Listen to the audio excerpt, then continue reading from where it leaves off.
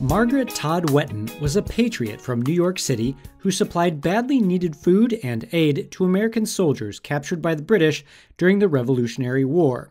At the start of the war, the British shelled New York City, forcing many people, including Margaret and her husband William Whetten, to flee to New Rochelle. Nearby White Plains would become the scene of fighting between the Patriots and the British, and the Whettens' house was ransacked by British and Hessian forces on several occasions. With food running low, the family fled back to New York City, where William Whetten died. Despite the war and the death of her husband, Margaret was determined to fight for her country. She regained possession of her house on Cliff Street, but had to put up with its occupation by British soldiers. But Margaret and her daughters were happy to provide food, clothing, and support to American prisoners in the city, despite being called by one British jailer the damnedest rebels in New York. Margaret Todd Whetten and her daughters also provided a safe refuge for American spies in their home, saving them from capture and certain hanging.